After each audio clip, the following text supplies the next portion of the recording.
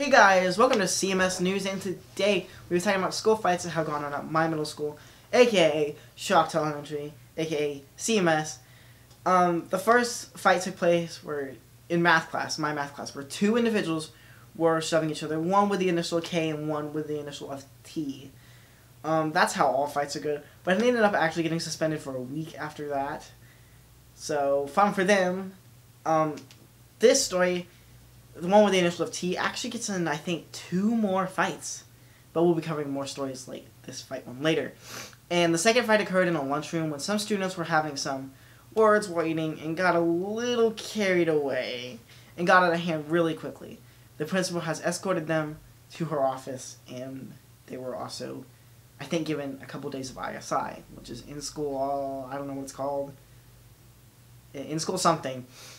And yeah, um, this is this is the most recent fight we're about to cover. The most recent fight has happened in a locker bay out of school. I think it happened last month as of this video was going up, or two months ago. When school has just started, like 10 minutes after it started. Two students with the initials of C and one with the initial of D were squared up to each other. All the other students were pressed up against their lockers, trying not to get engaged.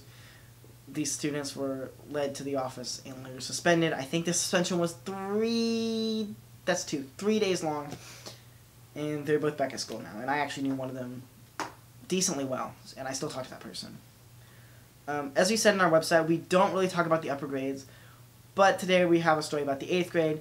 Two of the eighth graders were charged with disorderly conduct after they had brawled it out in the commons area.